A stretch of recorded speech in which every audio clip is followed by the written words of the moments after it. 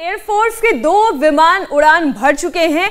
Romania और हंगेरी के लिए दो एयरक्राफ्ट रवाना हुए हैं। अमित ये कौन से एयरक्राफ्ट हैं? कहीं ये हम ग्लोब मास्टर की बात तो नहीं कर रहे हैं? मीनाक्षी इंतज़ार करना होगा क्योंकि अगर एयरफोर्स का है तो फिर वो ग्लोब मास्टर ही है क्योंकि हम देख रहे हैं हिंडन एयरबेस ही है देखिए। इंडियन हिंडन एयरबेस की तस्वीर है और हिंडन एयरबेस से आप देख सकते हैं C eleven go globe master जो कि ट्रांसपोर्ट एयरक्राफ्ट है जो जा रहे हैं। सबसे बड़ी बात है कि इसमें बहुत सारे रिलीफ मटेरियल भी भेजा जा रहा है। आज हमने सुबह तस्वीर दिखाई थी जिसमें जिसमें हम टेंट्स हैं उसके बाद खाने पीने के थोड़े सामान है और साथ ही साथ ब्लैंकेट्स भेजे जा रहे हैं। लेकिन सबसे बड़ी बात है इसमें अब सीट्स लगा दी गए हैं। यानी कि जो यहाँ पर आएँगे ये जो विमान जा रहे हैं वापस जब आएँगे तो साथ में वो लेकर आएँगे उन्हीं सब भारतीयों को जो फंसे हुए हैं और करीब करीब विमान मतलब इन टोटल कितने नागरिकों को ला मानिए 600 सकते के करीब आ सकते हैं आराम से। हाँ आ 600 सकते के करीब आ सकते हैं। 400 से हाँ, संख्या हाँ, बिल्कुल, हाँ, क्योंकि डिपेंड करता है वो कितना रखना है क्योंकि वो लोग किसी सामान के साथ नहीं होंगे इसलिए 600 के करीब आना कोई बड़ी हाँ, बात हम लोग ये मान के चल रहे हैं कि कम से कम इसमें से 600 के करीब तो आ ही जाएँगे हाँ, हम ये मान के चलते हैं कि एक आदमी का अपने सामान के साथ वज़न 100 किलोग्राम होता है। अगर वैसे देखें तो 70 80 टन का जहाज़ है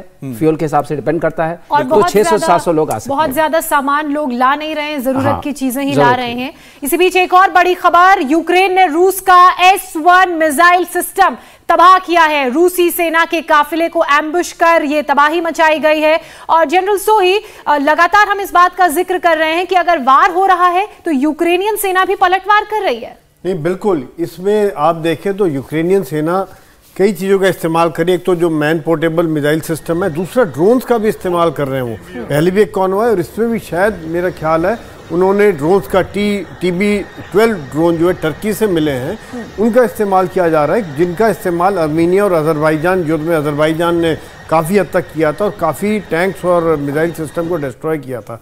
तो ये ड्रोन्स और इनका फ़ायदा, दोनों चीज़ों का फ़ायदा ये मैन पोर्टेबल होने की वजह से उनको ढूंढना मुश्किल हो जाता है। कहाँ पर हैं? जगह बदलते रहते हैं छुप छुप के अटैक करते हैं गुरुल्ला वॉरफेयर है। और यही फ़ायदा ड्रोन का है कि उसका भी रडार सिग्नेचर नहीं आता है लो फ्लाइंग होता है। कहीं से भी लाइट वेट होने की वजह से जगह बदली करके उसको छोटे से ग्राउंड से भी उड़ाया जा सकता है।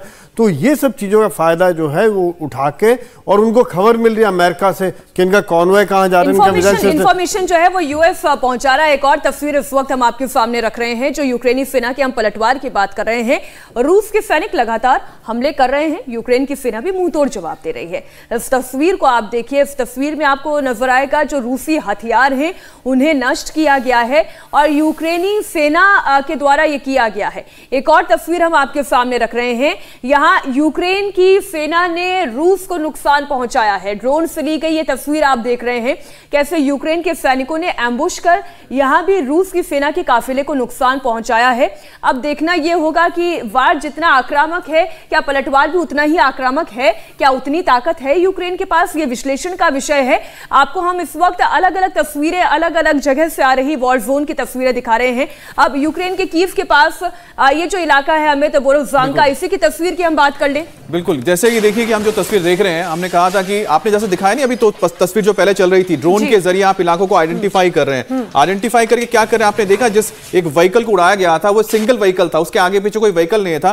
तो अब क्या कर रहे हैं कि इसी तरह से एम्ब्यूश हो रहा है कि आप आप ड्रोन से हो सकता है कि ये अटैक ड्रोन ना हो नॉर्मल ड्रोन हो सर्वेलेंस कर रहा है। और वो रियल टाइम इंफॉर्मेशन पहुँचा रहे हैं कि फलाना स्ट्रीट पर एक वहाँ पर गाड़ी है जिसको आप एम्ब्यूश कर सकते हैं फिर उसको आप रॉकेट के ज़रिए आप उड़ा दे रहे हैं। तो उससे क्या हो रहा है कि आपके ऊपर अटैक नहीं हो रहा आप उनको क्षति तो जो रेसिडेंशियल कॉम्प्लेक्सेस को भी हाँ। अटैक किया जा रहा है वो वो इस इंफॉर्मेशन के तहत किया जा रहा है कि हो सकता है वहाँ पे रिटेलिएशन फोर्स है मौजूद है मौजूद है। हो। एग्जैक्टली क्योंकि जब आप देख रहे हैं कि एक टैंक जो वहाँ पर है जो वहाँ पर गश्त लगा रहा होगा उसको आप जब हिट कर रहे हैं इसका मतलब है कि उस इलाके में कहीं ना कहीं जो रेबल्स हैं या फिर हो सकता है वहाँ पर यूक्रेन फोर्सेज मौजूद है इसीलिए आप देख रहे हैं रेसिडेंशियल एरिया में अब इस तरह की बॉम्बिंग्स होगी। बॉम्बिंग्स हो रही है। इंडिया टीवी हर वक्त, हर जगह। डाउनलोड करने के लिए सर्च करें India TV news Google Play Store या एप स्टोर पर।